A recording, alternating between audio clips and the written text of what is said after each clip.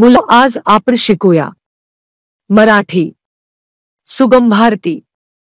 इयत्ता सहावी. मला वाटते. मला ते झरा होऊनी. तृषा हरावी वाटसरूची. मला वाटते मेघ होऊनी.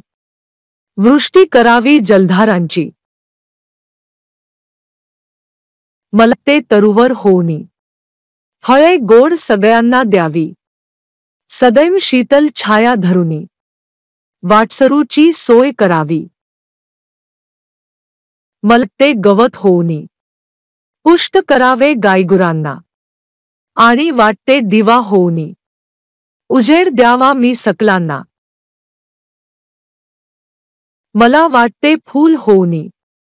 डोलावे मी तरुवेलींवर. हासत हासत सुगंध उधळत. सुखवावे सकलांचे अंतर।